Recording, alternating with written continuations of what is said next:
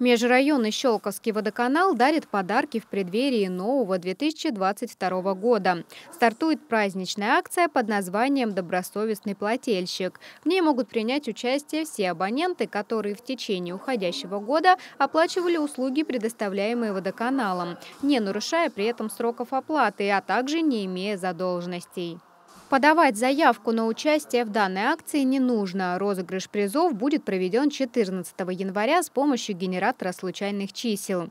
Имена победителей будут размещены на официальном сайте организации. Денежный приз автоматически зачислится на лицевой счет того, кто выиграет.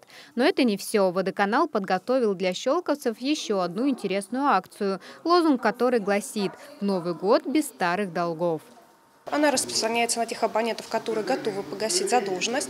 До 30 декабря имеют право воспользоваться а, возможностью по списанию пеней, начисленных на сумму задолженности. Мы проанализировали работу своих коллег, понимаем о том, что новые тенденции а, должны идти в ногу со временем, и предновогодние, так скажем, акции водоканалов там с историей ковидна и предновогодней. Хочется, чтобы люди порадовались и немножко могли сэкономить свои денежные средства. Акция «В Новый год без старых долгов» будет проводиться с 10 по 30 декабря включительно. Мария Буржинская, Сергей Максимов, Щелковское телевидение.